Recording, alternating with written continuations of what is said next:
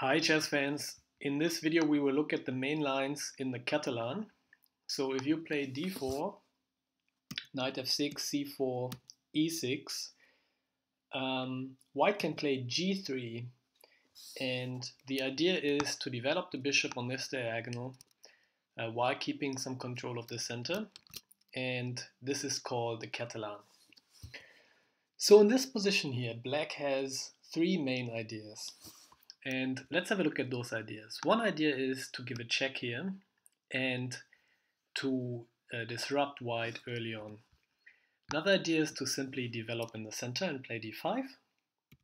And another idea is to play c5 and maybe um, get white to advance this pawn and leave the Catalan lines.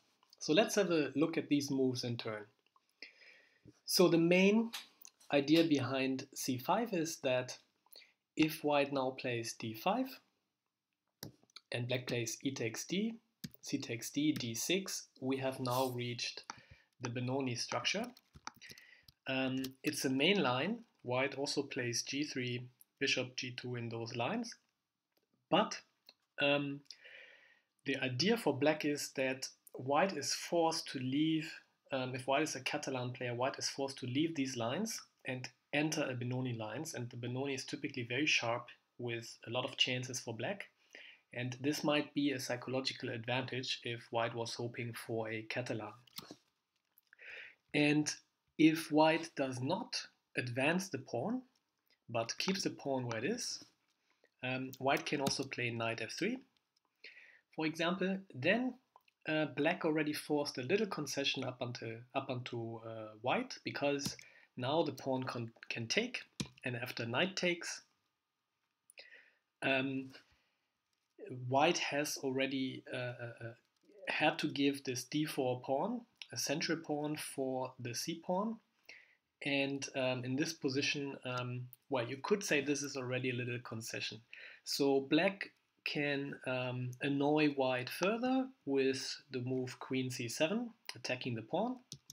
After knight d2, bishop c5, taking advantage that the knight had to go here to protect the pawn.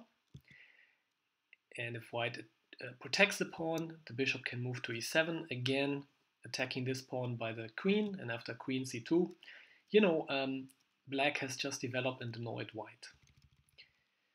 Um, another option is to play a check here, uh, which is yet another way for black to annoy white. Um, if bishop d2, queen b6, again taking, protecting the bishop but also attacking the knight.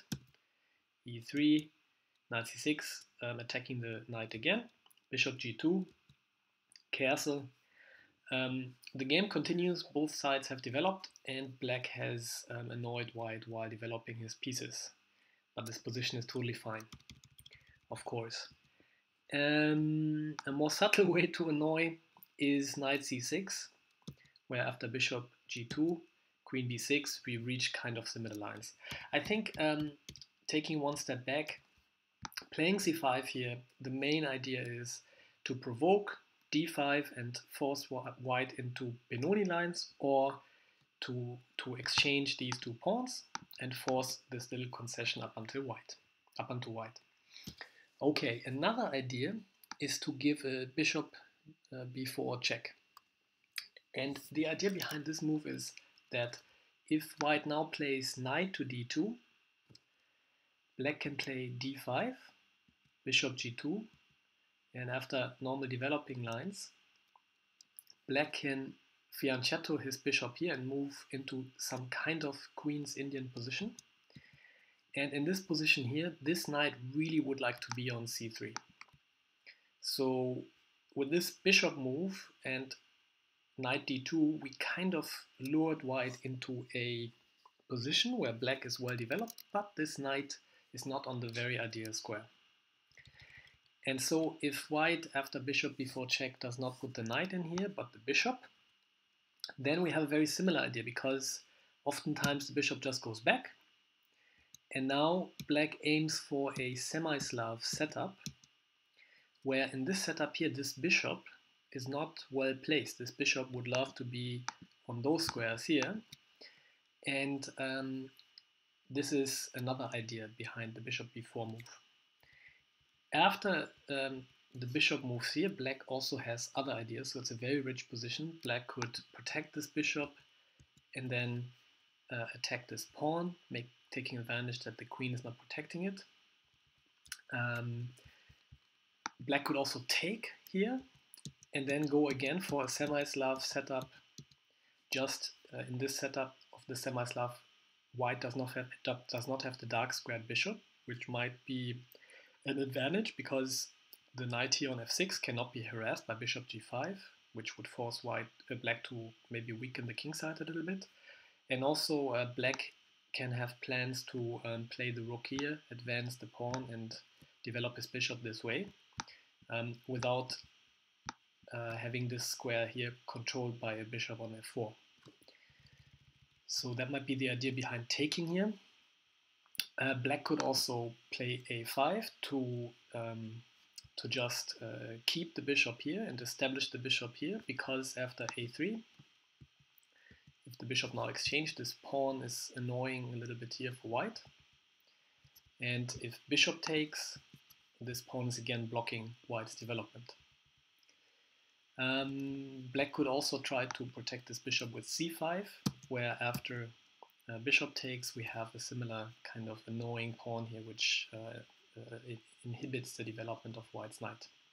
So a lot of ideas um, related to bishop b4. I think the main idea really is that, um, and this is also what you see on top grandmaster level, that after bishop d2, bishop e7, we enter into a semi-Slav in a slightly improved version with the bishop here.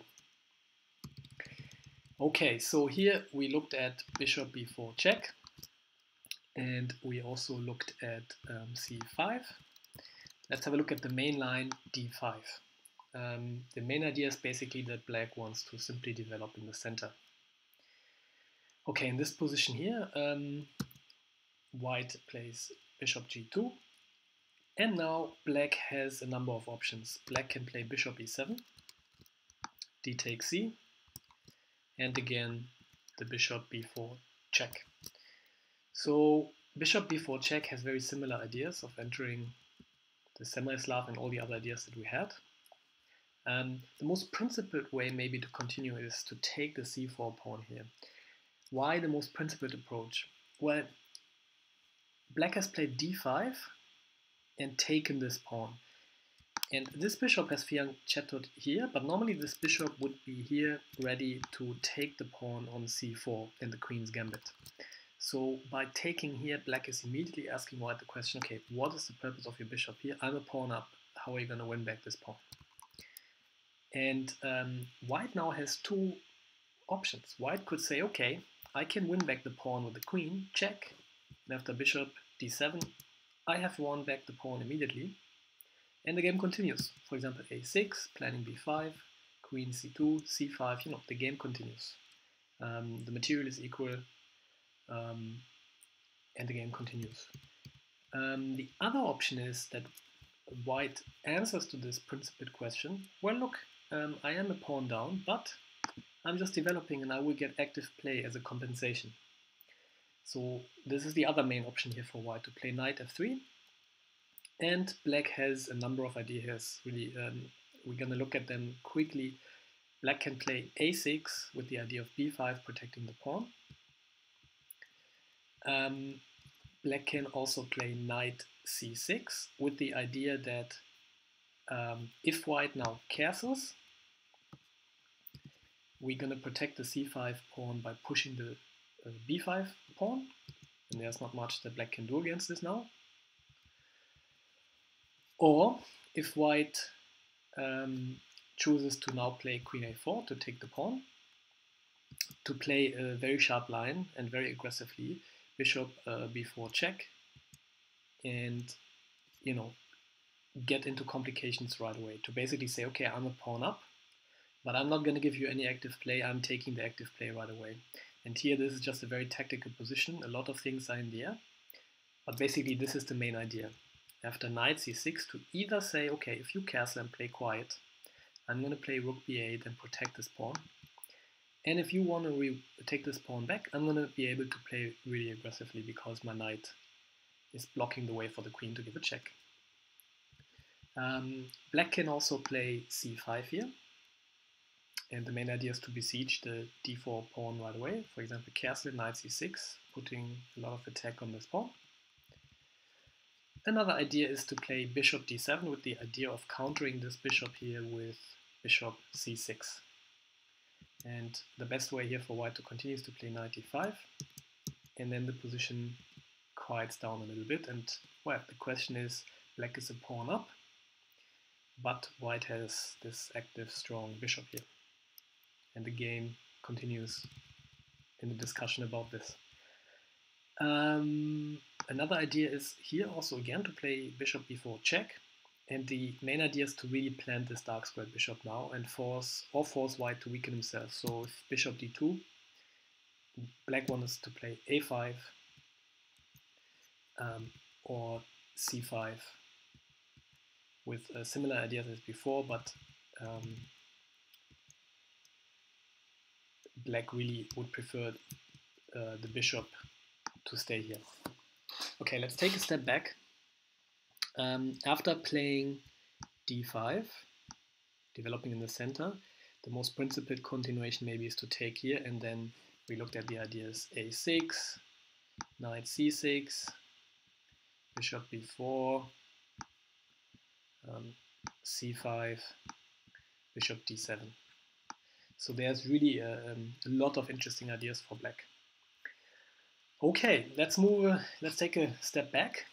Um, the other idea, uh, uh, uh um, other than uh, bishop e4 again, taking, um, the other idea here for black, and you could argue this is the main line, is to play bishop e7, and the main idea is just, you know, all the ideas that we've seen, they're still in the position, um, I maybe don't want to move the bishop here to take, give a check in the next move, but I want to see a bit, I want to play a bit more calm and see what happens.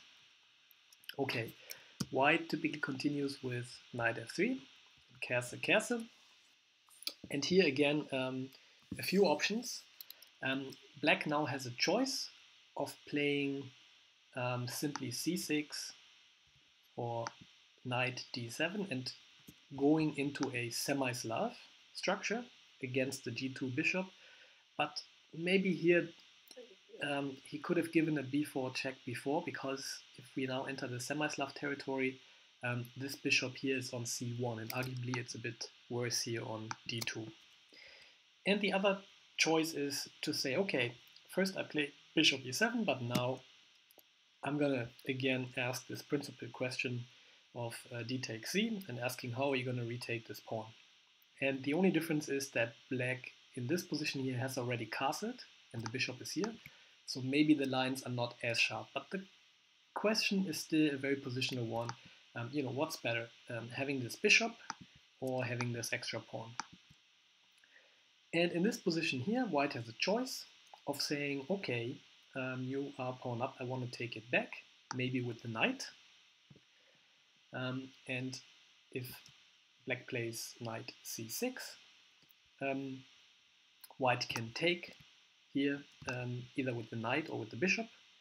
So taking with the bishop um, is a kind of forcing line where basically the discussion is about okay black is a pawn uh, black is a pawn not even a pawn up but black has these pawn structures here but in return uh, sorry black has these pawn structures, so white can attack those two weaknesses, but in return also these squares here have been a bit weakened, actually quite weakened. And the question is, in this position, um, you know, what's better and what's worse?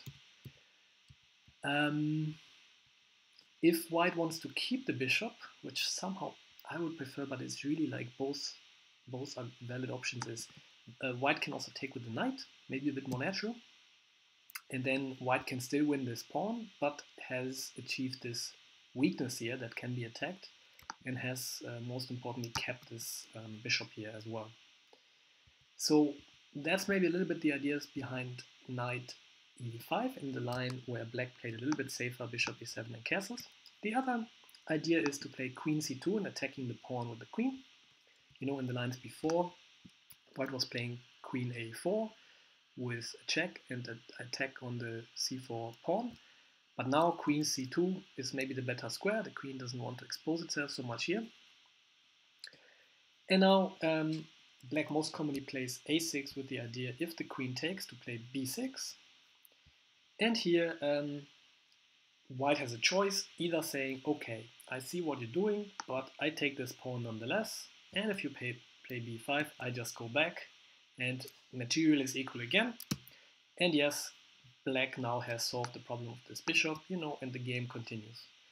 I think because material is equal, uh, well, it's an it's an equal position, but as black, it's nice to have solved this problem here with this bishop. Um, the other approach is for white to say, no, I don't want to, I still want to take this pawn, but I don't want you to play b5. I play a4 first, but then black can play um, bishop d7 with the goal of putting the bishop on c6, opposing the um, white, the light squared white bishop. And now if the queen takes, the game continues from here.